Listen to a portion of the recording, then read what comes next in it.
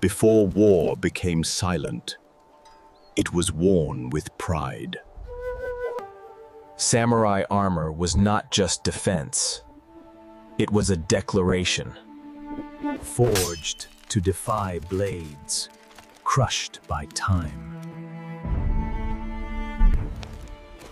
Today's armor hides the warrior to keep him alive. Ceramic shatters the bullet. Kevlar captures the rest. Protection was once heavy and visible. Today, it's lighter and precise. Mobility once demanded raw strength. Now it's engineered into the design. Fear once came from what they saw. Now it comes from what they cannot. Materials evolved. The instinct to survive remains eternal.